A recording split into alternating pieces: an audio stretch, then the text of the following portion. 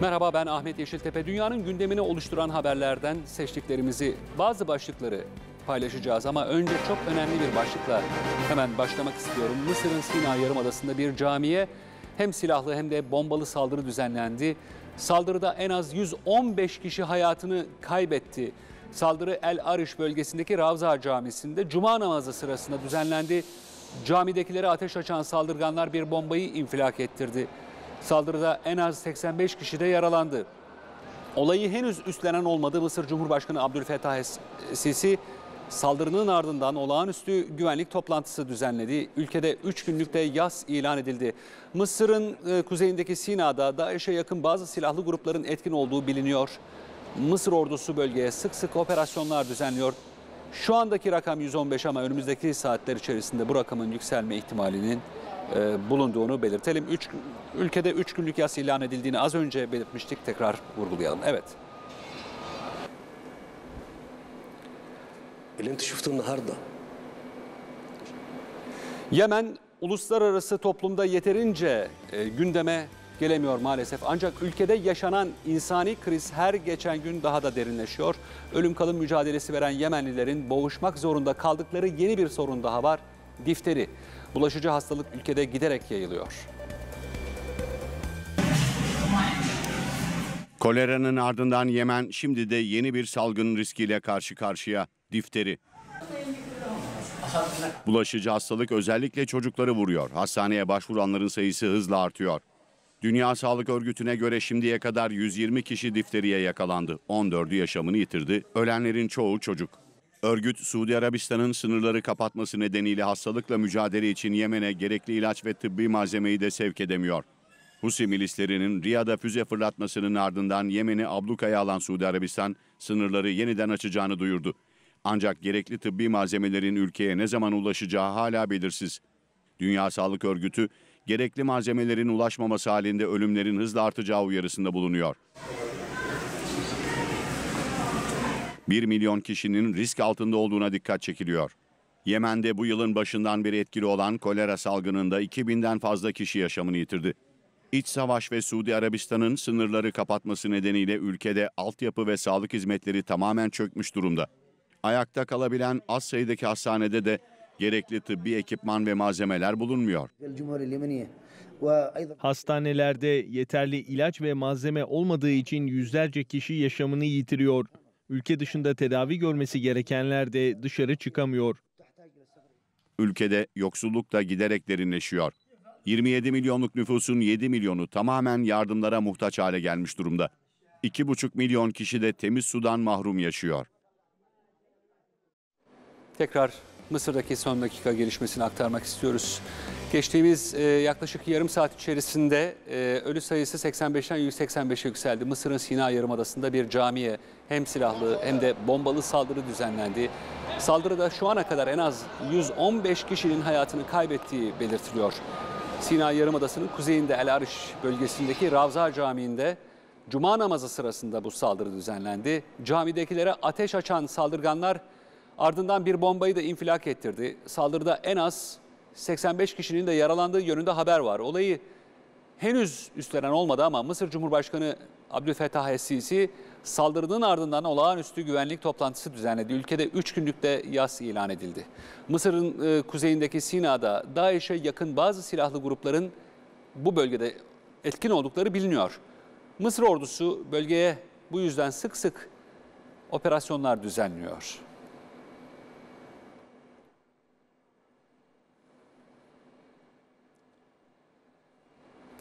Şimdi sizi Çin'e götüreceğiz. Çin'in ilk sanal gerçeklik tema parkı kapılarını ziyaretçilere açmaya hazırlanıyor. Dev robotlar, fütüristik kaleler. Burası Çin'in ilk sanal gerçeklik tema parkı. Guiyang kentinde inşası süren park Şubat ayında ziyaretçilere kapılarını açacak. Parkta sanal gerçeklik gözlükleri kullanan ziyaretçilere sıra dışı bir deneyim yaşama fırsatı sunulacak. Amacımız insanlara oradaymış hissi yaratmak. Sanal gerçeklik gözlükleri sayesinde ziyaretçilerimize o deneyimi gerçekten yaşıyormuş hissi uyandırmayı planlıyoruz. Üstelik 360 derecelik bir açıyla çevreniz tamamen görüntülerle dolu olacak.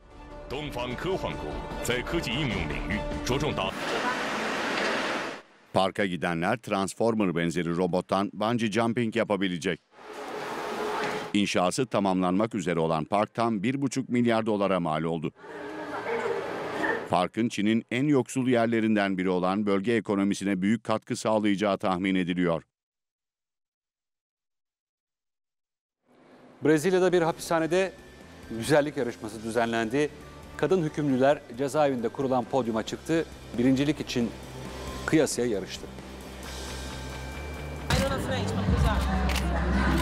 Brezilya'daki bu cezaevinde alışılmışın dışında bir gün yaşandı. Rio de Janeiro kentindeki hapishanede güzellik yarışması düzenlendi. Önceden seçilen 10 mahkum iki farklı gece kıyafetiyle podyuma çıkarak birincilik için yarıştı. İzleyiciler arasında mahkum aileleri de vardı. Hükümlüler bu organizasyon sayesinde sevdiklerine kavuştu.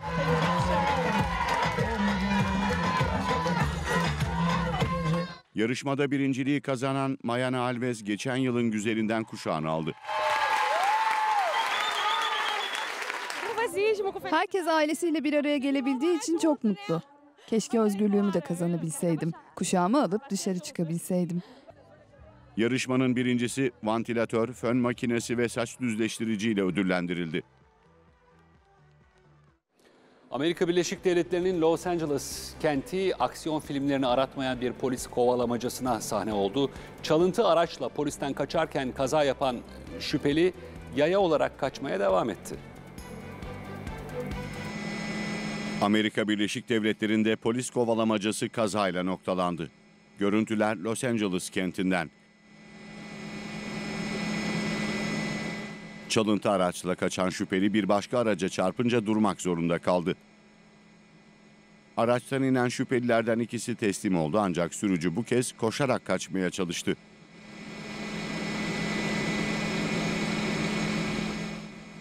Kaza yerinden uzaklaşan adam polisleri gözden kaybettiğini zannetti ancak polis helikopterinin kendisini adım adım izlediğinden habersizdi. Bir çatıda kapana kısılan adam sonunda teslim olmak zorunda kaldı. Polislerin binaya dayadığı merdivenden aşağı inen şüpheli gözaltına alındı.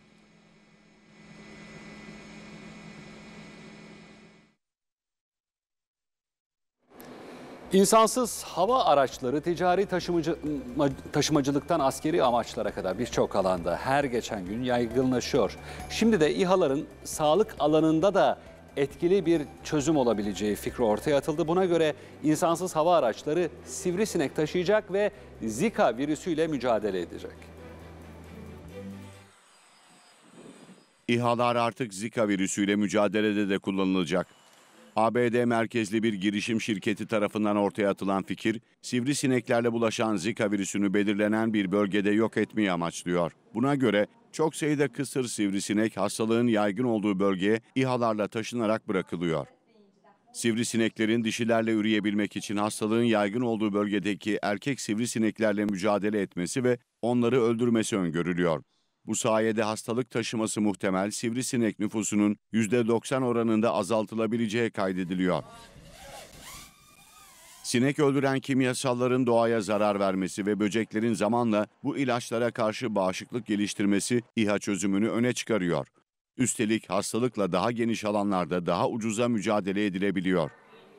Sivrisineklerin İHA'larla taşınabilmesi için uygun ortam sıcaklığının sağlanması gerekiyor. Bu sayede sivrisineklerin uyuyakalacağı ve İHA'ların haznesinde daha kolay taşınabileceği belirtiliyor. Salınmaları sırasında hayvanların doğru şekilde alana dağılmasını sağlamak için de titreşimli hazneler kullanılacağı ifade ediliyor. Şirket yaptığı ilk denemelerde sivrisineklerin İHA ile taşındıktan sonra canlı kalabildiğini doğruladı. İHA'lardan salınmaları ile ilgili çalışmalarsa sürüyor. Dünyanın dört bir yanından derlediğimiz ilginç olay ve görüntüler eşliğinde kısa bir haber turuyla devam ediyoruz şimdi. Mars yüzeyinde görevdeki mobil aracınızın lastiği patlarsa ne yaparsınız? Lastik değişimi için en yakın yer 100 milyon kilometre uzaklıktaki dünya gezegeni. Bu aksilik NASA'nın başına geldiği için uzun süredir aslında çözüm aranıyordu. Nihayet çözüm bulundu.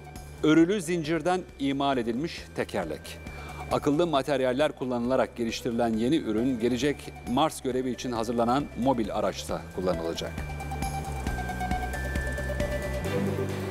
Staufen, Almanya'da kelimenin tam anlamıyla fiziksel olarak bölünen, parçalanan bir kasaba.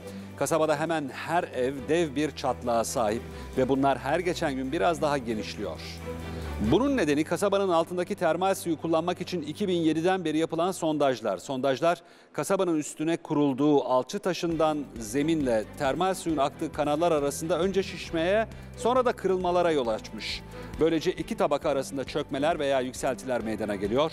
1546'da kurulan ve tarihi özelliği bulunan kasabanın kurtarılması için şimdi bir kampanya başlatıldı. Kasaba halkı zeminde şişen alçı taşından zemindeki e, suyun çıkarılmasını, boşaltılmasını, termal su oluklarının da artık kapatılmasını bekliyor, istiyor. Evet bu görüntünün gerçekliği bir süredir tartışılıyor ama Suudi Arabistan'da geçtiğimiz hafta yaşanan sel fela- felaketi sırasında çekildiği yönünde güçlü kanıtlar var. Bir sörf tahtası üstünde burka giymiş birinin, bir kadın mı erkek mi belli değil, yaptığı maharet gerektiren şov sosyal medyada milyonlarca kez izlendi ve tartışmalara neden oldu.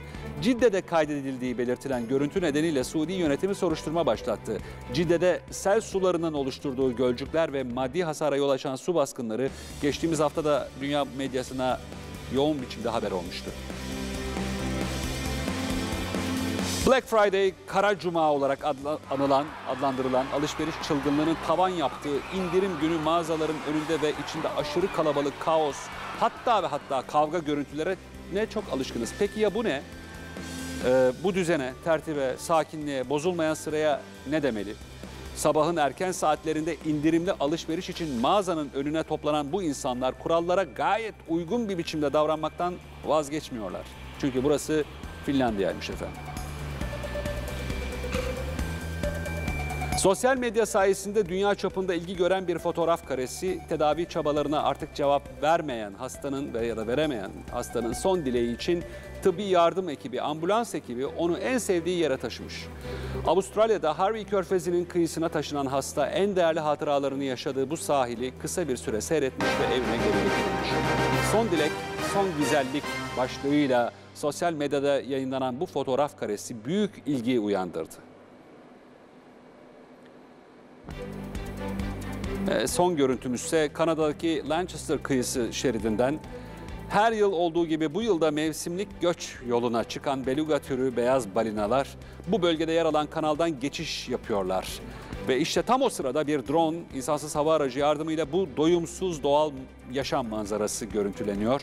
Yaklaşık 800 beluganın geçiş yaptığı dar buzul kanalında bu balinalar, bu balina türü ayrıca bir süre dinlenip çiftleşiyor. Hamile dişiler de burada doğum yapıyor.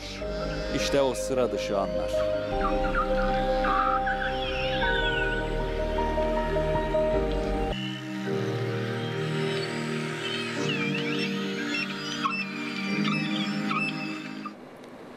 Evet Mısır'ın Sina Yarımadası'nda bir camiye hem silahlı hem de bombalı saldırı düzenlendi. Yaklaşık bir saat önce haber geldi. Saldırıda şu ana kadar en az 155 kişinin hayatını kaybettiği yönünde haberler geliyor bölgeden. Reuters e, haber ajansı 150 kişinin hayatını kaybettiğini bildiriyor.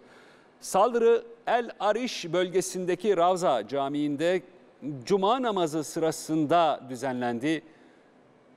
Camidekilere ateş açan saldırganlar eh, bir bombayı infilak ettirdi. Saldırıda en az 85 kişi de yaralandı. Gerçi bu rakamlar çok eh, erken rakamlar. Henüz saldırının ardından bir saat bile geçmedi ama 155 rakamı ölü sayısında gerçekten çok yüksek. Olayı henüz üstlenen olmadı. Mısır Cumhurbaşkanı Abdülfettah Es-Sisi saldırının ardından olağanüstü güvenlik toplantısı düzenledi. Ülkede şu anda 3 günlük yas ilan edilmiş durumda. Mısır'ın kuzeyindeki Sina'da DAEŞ'e yakın bazı silahlı grupların çok etkin olduğu biliniyor ve Mısır ordusu bölgeye sık sık operasyonlar düzenliyor. Tekrar edelim. Yaklaşık bir saat kadar önce Sina'daki cuma namazı sırasında meydana gelen patlamada, cuma namazının ardından meydana gelen patlamada ve silahlı saldırıda toplam 155 kişinin hayatını kaybettiği yönünde bir bilgi var. Ee, uluslararası haber ajansları e, ölü sayısını 155 olarak veriyorlar. Yaralı sayısı 85 ama bu rakamların daha da yükselme ihtimali e, endişelendiriyor. Mısır medyası ve uluslararası haber ajansları sürekli bölgeden haber geçiyor. Mısır'da e, zaman zaman bu tür kitle katliamı niteliğinde büyük terör olayları yaşanıyor ancak son yıllardaki en büyük e, terör olaylarından birisi olarak tarihe geçecek nitelikte. Şu ana kadar ölü sayısının 155 olduğunu tekrar edelim. Ee, Mısır Cumhurbaşkanı, Devlet Başkanı Abdülfettah Es-Sisi Güvenlik Konseyi'ni acil toplantıya çağırdı. Ülkede 3 günlük yas ilan edildi. Saldırının kimler tarafından gerçekleştirildiği, hangi örgüt ya da kişilerce gerçekleştirildiği yönünde henüz bilgi yok. Fakat bölgenin DAEŞ e, tarafından etkin biçimde kullanıldığı bu bölgede DAEŞ'e bağlı bazı grupların çok etkili olduğu biliniyor ki daha önce de Mısır ordusu bölgeye sık sık operasyon düzenliyordu.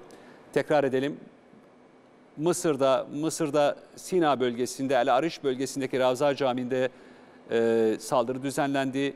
Camidekilere ateş açan saldırganlar bir bombayı infilak ettirdi. Saldırıda şu ana kadar en az 155 kişinin hayatını kaybettiği yönünde haberler geliyor.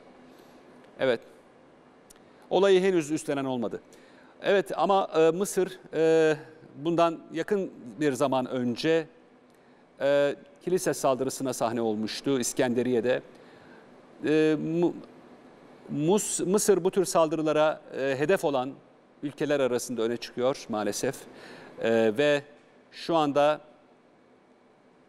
Ravza Camii'ndeki cuma namazının hemen ardından meydana gelen saldırıda en az 155 kişinin hayatını kaybettiği yönünde bilgiler geliyor ve bu sayının artma endişesi de dile getiriliyor. Evet bu üzücü haberle e, dünyanın haberini bitiriyoruz. Şimdilik hoşçakalın.